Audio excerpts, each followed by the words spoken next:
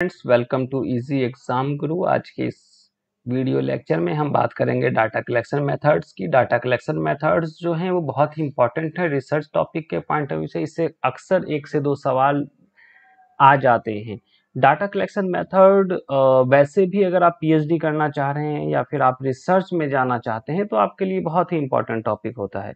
ये आपका ना केवल पेपर वन कवर करता है, बल्कि मास कम्युनिकेशन का पेपर टू भी आपका ये कवर करता है। तो डाटा कलेक्शन मेथड्स की बात करेंगे आज के इस टॉपिक में तो सबसे पहले हम बात करते हैं कि डाटा कलेक्शन होता क्या है? व्हाट इज़ डाटा कलेक्शन लेकिन उससे पहले आप मुझे बताएँ कि अगर आपको पता है कि डाटा क्या होता है? मैं पहले भी कई लेक्चर्स में डाटा के बारे में बता चुका हूँ कि वट इज़ डाटा तो बेसिकली डाटा क्या है? डाटा अनप्रोसेस्ड इंफॉर्मेशन डाटा क्या होता है? अनप्रोसेस्ड इंफॉर्मेशन उसे डाटा कहते हैं। इसे आप रॉ डाटा भी कह सकते हैं आप। तो अब हम बात करते हैं डाटा कलेक्शन की। बेसिकली डाटा कलेक्शन जो है वो किस तरीके से डाटा को गैदर किया जाए? जो गैदर करने का प्रोसेस है, जो इंफॉर्मेशन को गैदर करने का प्रोसेस है, उसे ही डाटा कलेक्शन कहा जाता है। The data collection is the process of gathering information from the all relevant sources to the find a solution to be research problem basically जितने भी एक रिसर्च और रिलेवेंट सोर्सेज जितने भी रिसर्च के सोर्सेज हो सकते हैं, वहाँ से जो इंफॉर्मेशन गैदर किया जाता है, उसका जो तरीका है गैदर करने का, जो इंफॉर्मेशन को एकत्र करने का, संग्रह करने का, जो डेटा को संग्रह करने का जो तरीका है, जो प्रक्रिया है, उसे ही डाटा कलेक्शन कहा जाता है। ये डाटा कलेक्शन बहुत ही इंपॉर्टेंट है क्योंकि ये आपका क्या करता है? ये हेल्प करता है to evaluate the outcome of the problem problem के आउटकम को इवेलुएट करने में, यानी कि जो समस्या के परिणाम है, उसका मूल्यांकन करने में ये मदद करता है।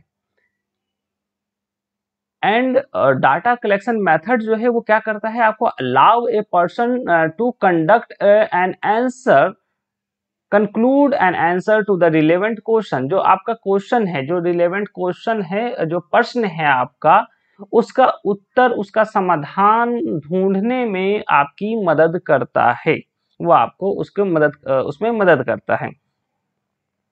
और हम डाटा की जब बात करते हैं तो ये किसी भी रिसर्च के लिए बहुत ही इंपॉर्टेंट है। बिना डाटा के बिना डाटा के कोई रिसर्च नहीं हो सकती, चाहे आप उसमें, चाहे प्राइमरी डाटा हो, चाहे सेकेंडरी डाटा उसकी बात भी हम करेंगे आने वाले लेक्चर्स में, ठीक है? तो अब आप ये ध्यान रखना कि सबसे पहले एक रिसर्च के अंदर जब एक रिसर्चर जब डाटा को सबसे पहले क्या करता है, वो आइडेंटिफाई करता है डाटा को, अपने डाटा को देन उसके बाद वो डाटा कलेक्ट करता है और उसके बाद उसको ऑर्गेनाइज करता है देन उसके बाद उसकी स्टडी की जाती है, यानी एनालिसिस किया जाता है।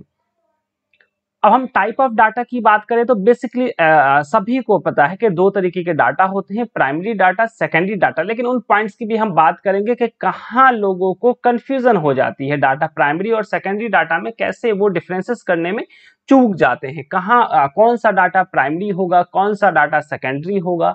तो इसकी भी हम बात करेंगे। तो जब हम टाइप्स और टाइप्स ऑफ़ डाटा की बात करते हैं तो टू टाइप्स ऑफ़ डाटा होते हैं। Primary data and secondary data primary data basically या रॉ डाटा वो डाटा होता है जो रिसर्चर जो है, वो फ़र्स्ट हैंड वो खुद उसको डायरेक्टली जो है वो डायरेक्टली गैदर करता है। वो डायरेक्टली जो है फ़र्स्ट हैंड सोर्सेज से जो डाटा है उसको प्राप्त करता है। चाहे वो एक्सपेरिमेंटल के थ्रू हो या फिर सर्वे है या ऑब्जर्वेशन इन मेथड का यूज़ करके survey experiment observation in method का यूज़ करके जो रिसर्चर है वो फ़र्स्ट हैंड सोर्सेज से डाटा को कलेक्ट करता है। यानी जब रिसर्चर डायरेक्ट जो है वो रिस्पोंडेंट से इंफॉर्मेशन लेता है या ऑब्ज़र्व करता है किसी चीज़ को या एक्सपेरिमेंट करता है तो वो जो डाटा होता है फ़र्स्ट हैंड जिसको फ़र्स्ट हैंड डाटा कहते हैं, वो उस डाटा को प्राइमरी डाटा कहा जाता है, यानी first hand data primary data के टू टाइप्स होते हैं quantitative and qualitative quantitative data and qualitative data अब क्वांटिटिव एंड क्वालिटेटिव डाटा क्या होता है? क्वांटिटिव डाटा बेसिकली वो डाटा होता है जो क्वांटिटी जिसको क्वांटिफाई किया जा सके। क्वांटिटिव डाटा कौन सा डाटा होता है? जिसको क्वांटिफाई किया जा सके, जिसमें मैथमेटिकल कैलकुलेशन को यूज़ किया जा सके। यानी नंबर्स में, जो, जब डाटा नंबर्स में हो तो उसे हम कहते हैं क्वांटिटी डाटा ये कैसे कलेक्ट होता है? ये through of close ended questionnaire से कलेक्ट हो सकता है। को रिलेशन रिग्रेशन से मेथड यूज़ किया जा सकता है जिसमें मीन यूज़ किया जा सकता है मीडियन और मोड यूज़ किया जा सकता है मेजर्स को लगाया जा सकता है। तो ऐसे डाटा को क्वांटिटिव डाटा कहते हैं। बहुत ही सिंपल अगर इसको भाषा में आप समझेंगे तो आप ये समझिए कि जो क्वांटिटिव डाटा होता है जो नंबर्स में जिसे नम, जिसको हम नंबर्स में क्वांटिफाई कर सके बहुत सिंपल है जिसको हम नंबर्स में क्वांटिफाई कर सके। जैसे number of people age group age different age जिसको भी हम नंबर्स में क्वांटिफाई कर सकें वो क्वांटिटिव uh, डाटा होगा नंबर ऑफ़ सेल्स तो सेल्स कितना हुआ या फिर हम बात करें कि uh, uh, कितने लोग पार्टिसिपेट किए किसी प्रोग्राम में तो ये सब नंबर्स में है। तो जिसको अभी हम नंबर्स में मेजर कर सकते हैं जिसको हम नंबर्स में मेजर कर सकते हैं यानी मैथमेटिकल जिसमें कैलकुलेशन लगा सकते हैं कोरिलेशन रिगुलेशन लगा सकते हैं क्लोज एंडेड क्वेश्चन आयर कर सकते हैं तो आ, उनको हम क्वांटिटी डाटा कहते हैं। क्वालिटेटिव डाटा जब हम क्वालिटेटिव डाटा की बात करते हैं तो क्वालिटेटिव डाटा में मैथमेटिकल कैलकुलेशन इन्वॉल्व नहीं हो सकता। इसमें ये क्वालिटी बेस्ड होता है। ये क्वांटिफाई इसको नहीं किया जा सकता। इसको क्वांटिफाई नहीं किया जा सकता और ये मैथमेटिकल कैलकुलेशन इसके अंदर यूज़ नहीं हो सकता। इसे क्वालिटी की बात की जाती है, ना कि क्वांटिटी की बात की जाती है। अक्सर बहुत सारे हम एग्ज़ाम्पल कहते हैं कि क्वालिटी पे फोकस करो क्वांटिटी पे नहीं। तो वो जो एग्ज़ाम्पल है तो वो जो क्वांटिटी है क्योंकि क्वांटिटी को इजिली मेजर किया जा सकता है, लेकिन क्वालिटी को मेजर नहीं किया सकता। This method is closely associated with elements that are not quantifiable जिसको क्वांटिफाई नहीं किया जा सकता। क्वालिटेटिव डाटा कलेक्शन मेथड जो है, उसमें इंटरव्यूज़ हैं क्वेश्चन आयर हैं ऑब्जर्वेशन है केस स्टडीज़ हैं, ये सारे इसके जो है डाटा कलेक्शन के इसके मेथड है। अब खुद देखें कि आप इंटरव्यूज़ अगर किसी का ले रहे हैं, आप उसमें आप उसको उस इंटरव्यू में एक घंटे का आपने इन डेफ्ट इंटरव्यू लिया। अब उस इन डेफ्ट इंटरव्यू को आप कैसे क्वांटिफाई कर सकते हैं कि उसने आ, किस टॉपिक पे क्या बोला नहीं बोला? आप कैसे क्वांटिफाई कर सकते हैं? तो उसको आप क्वांटिफाई नहीं कर सकते। तो ये जो मेथड है ये क्वालिटी बेस्ड होता है। क्वालिटी बेस्ड को क्वांटिटी क्वालिटेटिव डाटा कहते हैं। Peer review and other aspects of research. कहाँ कहाँ पे हो सकती है? ज़्यादातर बाइसनेस जो है, रिसर्चर कहाँ पे इन पार्ट में करता है। जब वो प्रयोगतात्मक डिज़ाइन, डेटा विश्लेषण या डेटा व्याख्यान या सहकर्मी समीक्षा, पीयर रिव्यू और अनुसंधान के अन्य पहलुओं में पूर्वाग्रह से बचना होता है। और यहाँ यहाँ पे चांसेस ज़्यादा रहते हैं। कई बार आपके सवाल इसी तरीके से पूछ लिए जाते हैं कि किस रिसर्च के किस हिस्से में अब जो है वो बायस होने का खतरा ज़्यादा रहता है या बायस किस हिस्से में बायसनेस कम होती है। तो यहाँ पर आप देखेंगे कि हम बायस कहाँ हो सकते हैं जब हम किसी डाटा को एनालिसिस करते हैं। जब हम डाटा को क्या करते हैं, उसको इंटरप्रेट करते हैं। तो या हम डाटा को सिलेक्ट करते हैं तो ऐसी जगहों पे बायसनेस के खतरे ज़्यादा होते हैं। तो हमें क्या करना चाहिए? हमारे रिसर्च को निष्पक्ष रहना चाहिए या ऑब्जेक्टिविटी रहना है?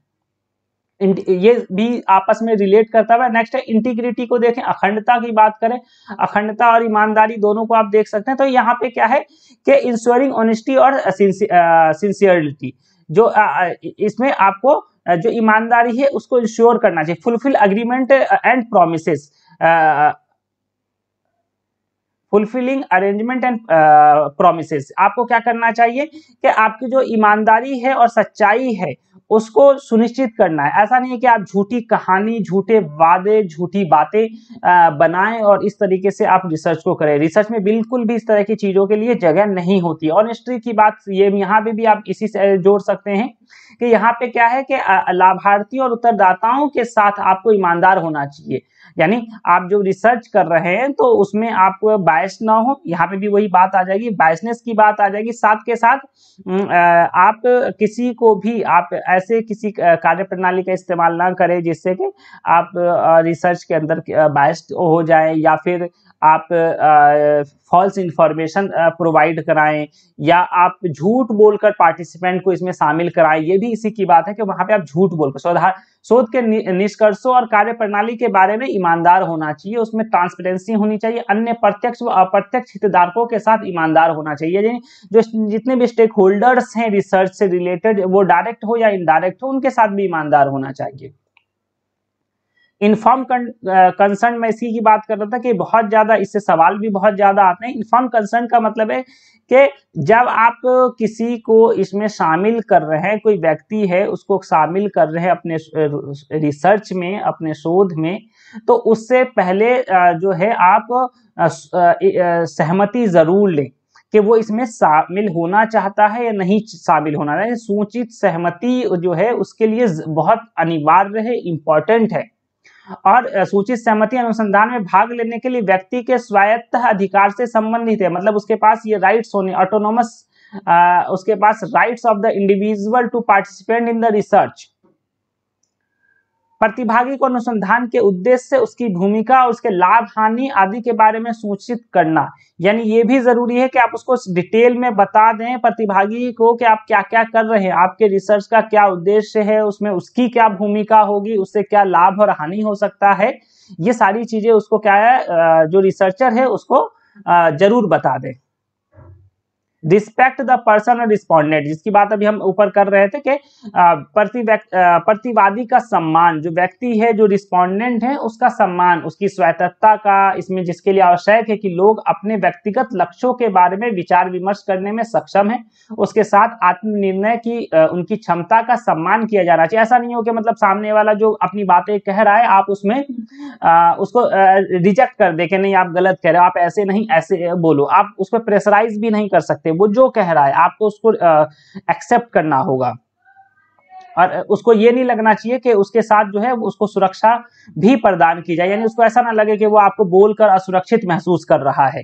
डाटा की सेकेंडरी डाटा कलेक्शन मेथड जो है बेसिकली uh, क्या होता है? सेकेंडरी डाटा कलेक्शन वो मेथड होता है जहाँ पे रिसर्चर खुद किसी डाटा को कलेक्ट नहीं करता बल्कि कोई और व्यक्ति अपने किसी पर्पज से उस डाटा को कलेक्ट करता है और जो रिसर्चर है वो उसके किसी काम आ जाए, उसका कुछ पार्ट उसके कोई काम का होता है तो वो उसको यूज़ कर लेता है। लाइक सेकेंडरी डाटा में मैगजीन्स हैं न्यूज़पेपर्स हैं बुक है जनरल है, ये सारी चीज़ें आ जाती है। अब इसमें या फिर इसके साथ साथ बहुत सारी चीज़ें जो पब्लिश्ड और अनपब्लिश डाटा इसको दो पार्ट में आप कह सकते हैं सेकेंडरी डाटा में पब्लिश और अनपब्लिश डाटा क्या होता है पब्लिश और क्या होता है अनपब्लिश उसकी भी बात करेंगे।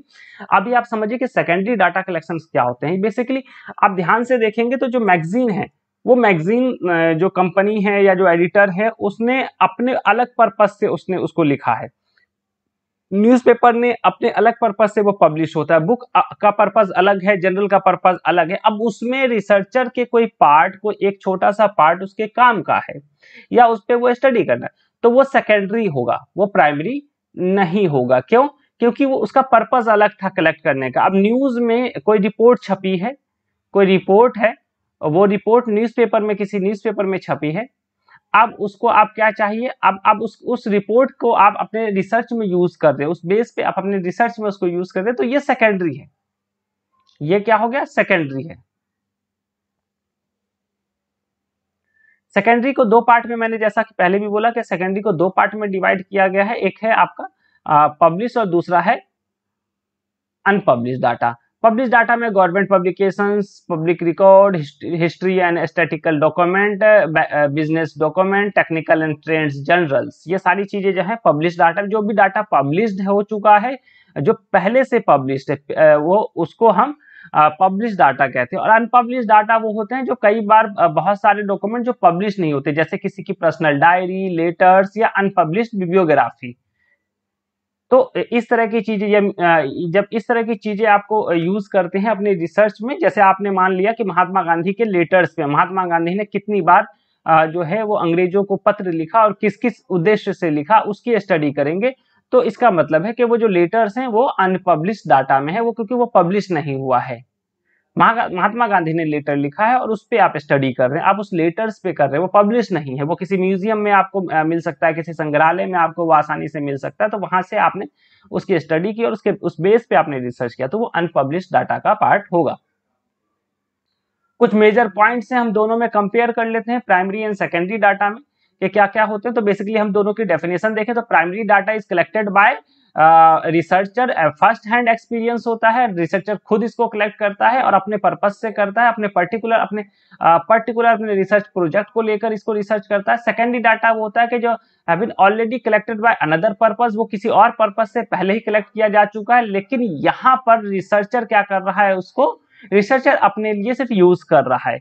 मेन सोर्सेज अगर देखेंगे तो इंटरव्यू से प्राइमरी डाटा कहाँ से आएगा? इंटरव्यू से आएगा सर्वे से आ सकता है क्वेश्चन आयर से आ सकता है फ़ील्ड ऑब्जर्वेशन से आ सकता है एक्सपेरिमेंट से आ सकता है एक्शन रिसर्च से और केस स्टडी से ये आपको मिल सकता है। वहीं आप बात करेंगे सेकेंडरी डाटा की तो previous research mass media product government reports official statement web information historical data ये सारे सोर्सेज हैं सेकेंडरी डाटा के।